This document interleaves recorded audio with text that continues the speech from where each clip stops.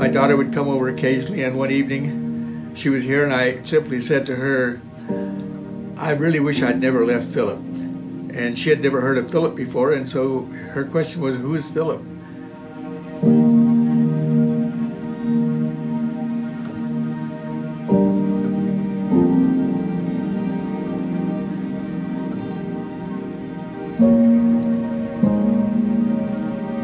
I uh, decided to come out not by purpose but by mistake. I had planned to take my second identity to the grave with me. With the co-virus, with some medical problems I had, I had started writing my memoirs.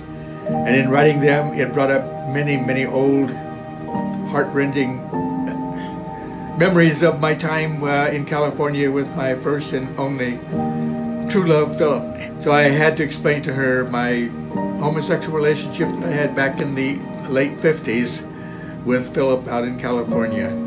And uh, after telling her and getting her reaction, which was very positive, uh, I just thought, well, maybe it's time to come out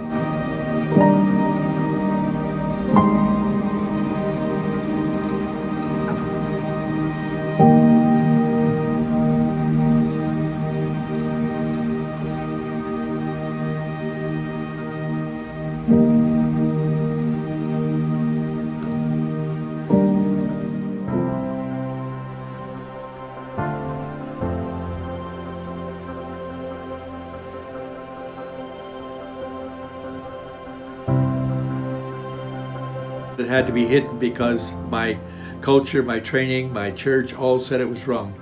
And occasionally a homosexual experience, but it had to be buried because coming out in the 50s, 60s, 70s was a dangerous thing. You could lose uh, your job, you could lose your family immediately, you could lose uh, the, the uh, marriage if you were married, uh, and in some cases you could actually lose your life.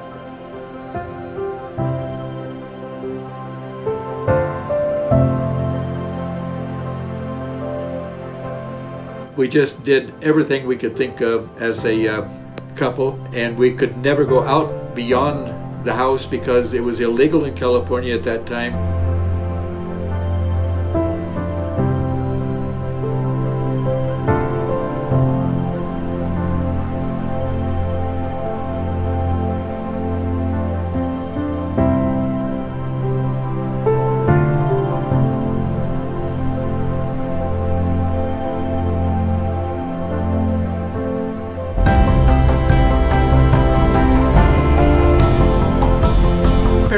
Please love your children all the way, no matter what they do. Being gay is not a choice, it's the way you're born.